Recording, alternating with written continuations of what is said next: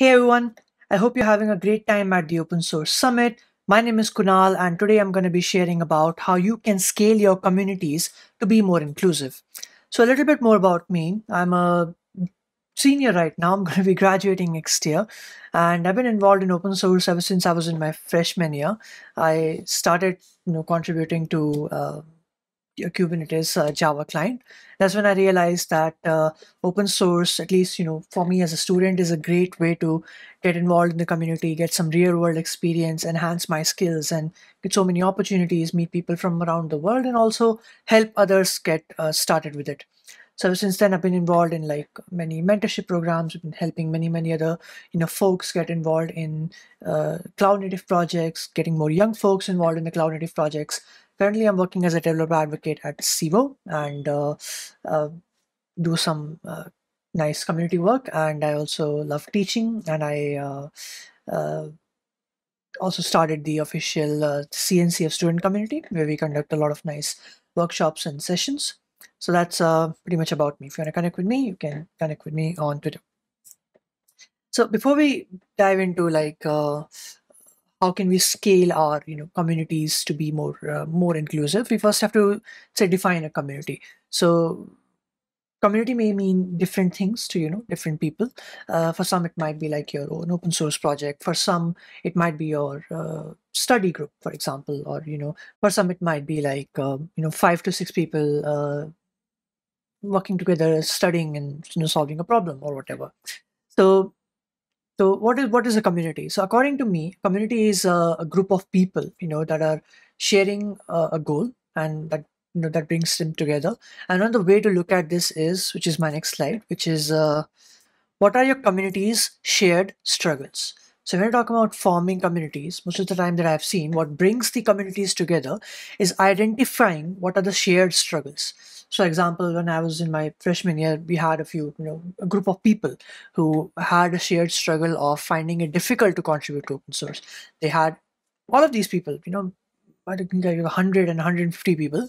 They had like, uh, they, they were asking similar questions like, hey, um, how do you get started with such a big project or uh, the, the code base is really overwhelming where do we start where do we actually find projects to contribute to so identifying what are the shared struggles of your community is extremely important.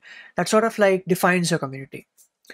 The next thing you have to talk about when you're asked a question, hey, what does your community mean? Which is, what is the mission of your community? Now, the mission of your community can change, you know, over that over time, over the course of few years, but you should always remember what you, you know, set out to be, what your uh, initial goal was and what is like your who is like your target audience what you're trying to achieve what are your uh, values that you should definitely you know uh, that the com- community has been built upon. Okay? And from that you can uh, have a particular mission like okay i want to get so many people get started with open source. I want uh, i want more folks from this region involved in our projects or in our events I want to have like a global community or I want to have like a localized chapter. So what is your mission? So once your mission is achieved, then you know you will have new missions. So the missions may change, but your original idea should be same. Now, the next thing uh, you have to ask yourself is uh, what do members look to get out of your community? Why would anyone want to join? Right? What do you have to offer?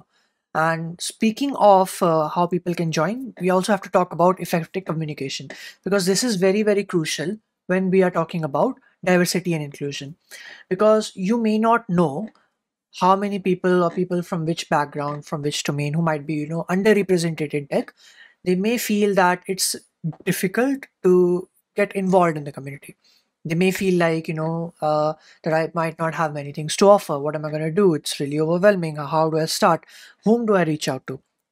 So what do members uh, you know look to get out of your community? Is there is there a particular skill they want to learn? Is there a particular event they want to attend? Is there a particular you know meetup they want to speak at for example? Or uh, are they interested in like networking? Are they interested in contributing? It's an open source project do you want to contribute in the code way? Do you want to contribute in a non-code way in like documentation and stuff? Do you want to help in the marketing aspect or whatever? Okay so you have to figure out what your members are trying to get out of your community what you have to offer and you know best right what you have to offer.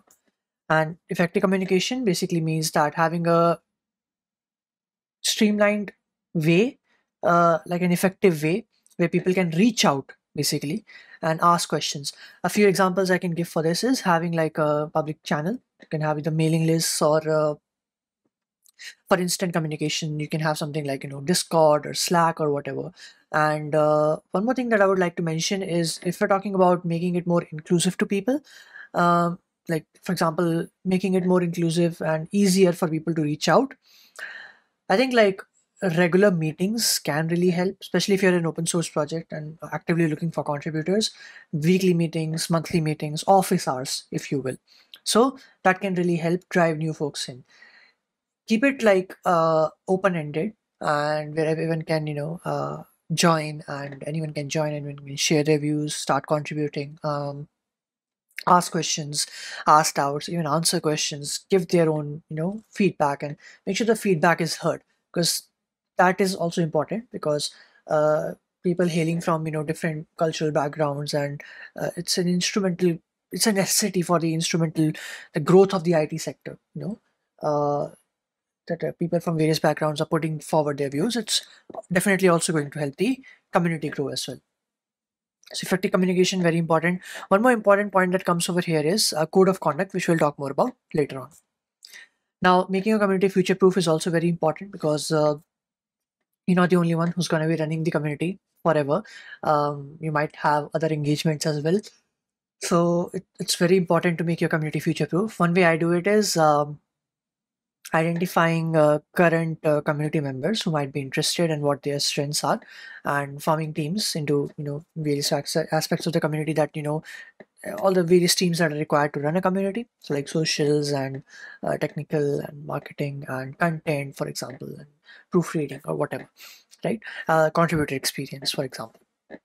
So making a community future proof is selecting thought leaders like from these uh, active community leaders and uh, uh, people who might who might be interested into you know taking forward the lead and uh, who might be interested in taking charge and who might be you know interested in uh, uh who might be having great ideas for example. So what i can remember is really someone was contributing to our community and uh, they made our discord server very nicely um, we were able to scale it from zero till around 25000 users in just under a month and people were asking doubts actively over there. There was like a proper code of conduct and rules and regulations and different channels for different things, making sure there was no spam. Now they're leading our entire Discord and the open source program management and everything they are doing. So how did I figure out that they wanted to? Because they showed interest, right? They came and they showed interest and they wanted to do it. I'm like, okay, sure, you're already doing great work. Go ahead. So I'm not saying like directly like do it today, uh, but uh, make sure you're making a community future proof. So importance of diversity and inclusion. This is a very important point because people, you know, as I mentioned, who are hailing from different parts of the world, it's important for them to showcase their uh, views and knowledge as well. Uh, first, first thing, like why it's important because you as a community are providing them, them a platform. So if you're not going to do it, who is going to do it? If the communities are not going to do it, then then who is going to do it? Right? There might be many many other people because uh, the community aspect even of various companies many many other companies you know big tech, tech giants they also have a community aspect they're also running diversity and inclusion programs why are they doing it because it's important it's important to uh, recognize people on the basis of you know the efforts they're putting in and if they want to get involved their enthusiasm their uh, you know interests and as a community leader point of view it's definitely helping your community grow as well right? Because if I'm talking about Kubernetes, for example, so Kubernetes has uh, the Kubernetes community days groups all around the world. New Delhi, you know, in India, various parts of India, North America, South America, um, you know, Europe and uh, Africa, for example. So it's helping the community scale as well. How is it helping it? Because more and more people are conducting their localized events, more and more people are contributing to the open source projects, more and more people are sharing their views. It's like a two-way communication sort of a thing it's helping the community as well community grow you're reaching the worldwide audience and helping as many people as you can and it's also helping the people get involved so it's very important and when we're talking about the importance of diversity and inclusion one of the most important points you have to uh, look into is who might be excluded from accessing the activities of your community. So now this the, these barriers can be a lot uh, for example language barriers. Someone who might not be able to understand the documentation in your language or whatever. So that might be a barrier. Some uh, some of the barriers might be your uh, community is not having effective communication okay? Uh, other barriers might be uh, geographical regions. Some other might be some people might be facing imposter syndrome like the community is let's say not beginner friendly. So you know that uh, you know, good first issues exist for a reason. Even if you're talking about some of the biggest projects in the world some of the most complex projects in the world they also have beginner friendly issues. And uh, kubernetes i believe is like the second biggest projects in the world. Um, I think so. Yeah, I think so. And uh, it also has beginner friendly issues. I, as a student, so many students who are contributing in a non code way, even in code way. Uh, so there are like so many LFX mentorship programs and everything in which they are participating.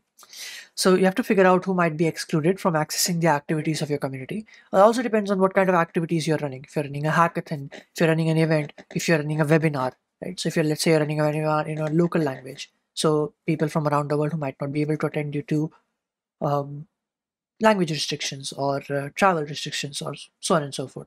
So a great example for this can be the open source summit. Many people who might not be able to attend for, let's say, the financial region. So open source summit, uh, you know, they provide diversity and need-based scholarships. So that's diversity and inclusion in action. So shout out to them. All right. One more thing, uh, you know, that is very important when you talk about diversity, inclusion, and stuff, uh, which is handling negative scenarios. If you're at an event or if you're at a you know workshop you're conducting something or if you're conducting a hackathon there might be some negative scenarios. It rarely happens but it you know sometimes does happen. The, the best way to deal with uh, these scenarios or conflicts if you will is uh, make sure that both the parties are feeling safe. That's a most important point.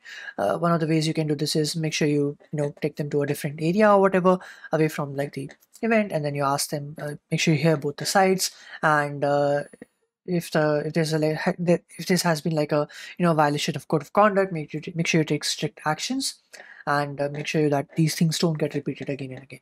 So various scenarios uh, are dealt with you know differently and uh, it totally depends on like the severity but it's important to hear the both the sides and it's also important to take uh, firm actions as well depending upon what the violation was.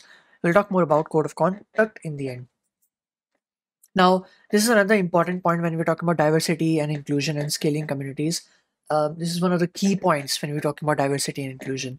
Designing your community's needs. What do the community members need? Now, there are two types of uh, needs needs that are facilitated, needs that are not facilitated. So, in in person events, for example, they ask us, Hey, would you like vegan food? Would you like you know, non veg food? Would you like vegetarian food? Do you have any allergies or something? Right. So, that's needs that are facilitated. It is including diversity and inclusion. Okay, in the badges we can see that hey, uh, you can talk to me, or you can maintain a social distance, or I'm uh, not able to talk to anyone right now. There are different color of badges.